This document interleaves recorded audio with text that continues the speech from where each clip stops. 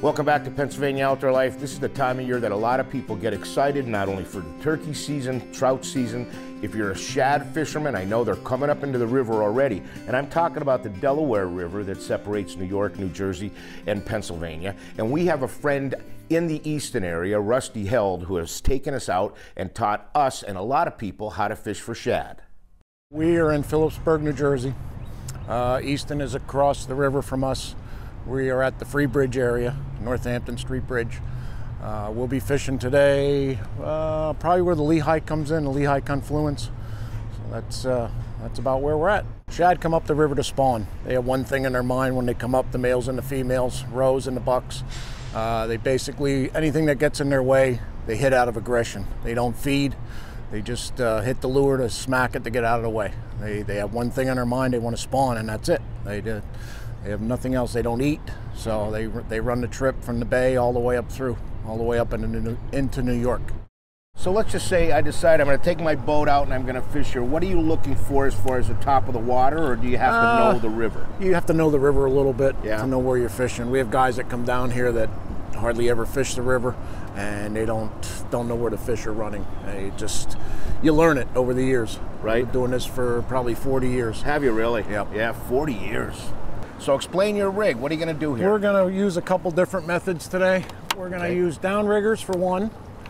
We're going to use a diver plug, which is poor man's downrigger. now this this is simply a Crankbait. fishing a crankbait. You took the hooks the- off. with the hooks and a simple spoon. Now what are you using for at Just the a end of the line? I'm- was going to say bait, right? Just a shad spoon. They hit this out of aggression. That's Color all it is. matter? Some days, some days it doesn't. It's it's not. Uh, some days it's silver, some days it's gold on the back. Uh, some days it's different colors. Are the guys from shore throwing those, or are they uh, They're using too, right? darts. Most of them are using darts. Okay. Some are using uh, spoons. So you're just going to let that out the back of the Yep. boat, and the and the actual crankbait is going to take it down gonna a certain level. Yep. Okay. And the downriggers, the same thought process as like Lake Ontario, right? They Yep. they drop it down to the level that you Drop want it down to, to, where where you think they are. You play around till you find them. Different footages. Okay. The trick to catching shad. Where are you going to put your boat? How do you read the water? Tell me that. We are looking for a basic channel uh, or a ledge. They run up along that in the uh, in the river. They'll school. We may sit there 15, 20 minutes, maybe half an hour, and then we'll bang them again. And then maybe another 15, 20 minutes, and we'll hit another school. But uh, the schools have been spread out this year. We don't know why. Uh, if the quantity of fish isn't there or what, we don't know. But uh, they, they definitely are not like they were two years ago.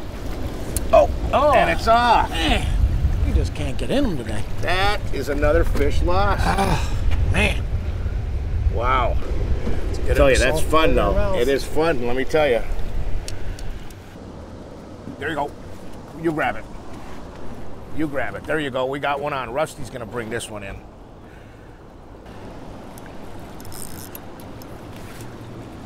Feels like a good fish.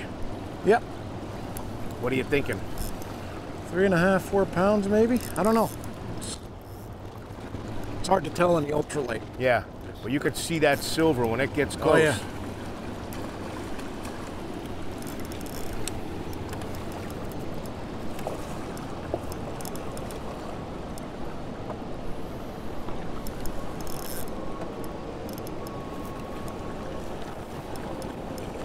That's a nice fish, buddy. Oh. Is that off too? Yep. That looked like a roe too, did, Yeah, did it was a smaller roe.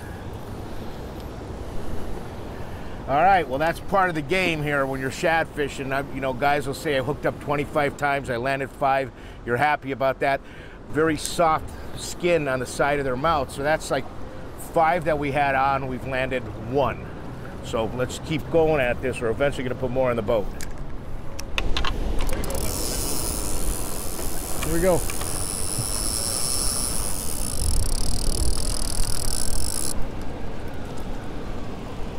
Oh, yeah. Maybe this will break our losing our losing it at the boat streak. I hope. Wow, these things fight. They just fight. As I say, they got one thing on their mind. they want to spawn. Anything that gets in their way. Okay, I'm just gonna back up here.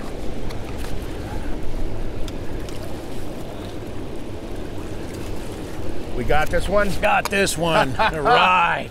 Nice. Another buck? Yep. That was in the hard part of the mouth. That, That was, you yeah, you know what? That guy. What a difference that makes. Let me stick my finger in it. So, They're slimy, real slimy.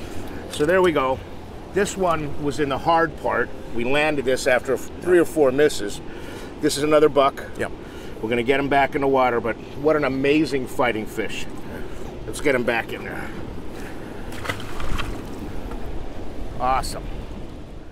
So if somebody wants to get a hold of you and learn more about your your tackle supply or your guide service, what's the best way to do that? Uh, have uh, email rustyballstackle at gmail.com or 484-239-4723 is the phone number.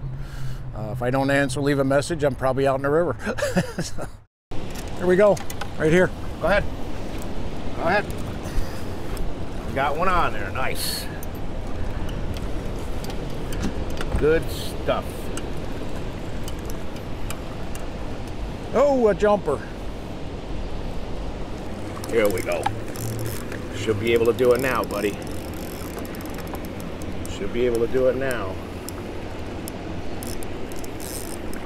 She sees that net and nice. We All got right. this. This is a big fish. This is a big Nice. shad. Nice, nice. This is a big shad, isn't it? Yep. Yep. Good job. Yep. Nice roe. Ooh, she's fiery. Wiry, man. Right in the bottom jaw. We weren't going to lose her. Right in the hard stuff. So Yep. show the camera here. You know this is a roe. Why? It's fat. Fat. Yeah, you can see the belly started to develop with the eggs. So. And what? You're talking maybe just three weeks ago in the Atlantic Ocean someplace, right? Yeah, three, four weeks ago. Wow. Yep, that's it. You are the master, man. Thank you so much. You're welcome. Thank you so much. That's awesome. And off she goes.